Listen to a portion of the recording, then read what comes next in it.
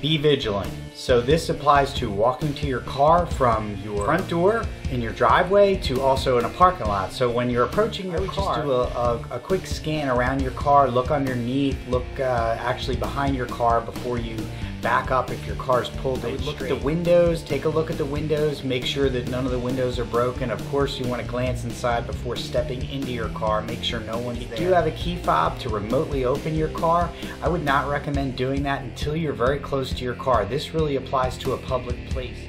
Once you have the all clear that everything's okay with your vehicle, you want to step inside, you want to immediately lock this maybe not so important in your own driveway, but more important in a public place.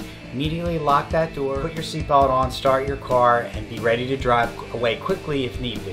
When you're at a traffic light, situational awareness, you want to look around, center, right, just do a, a, a simple scan.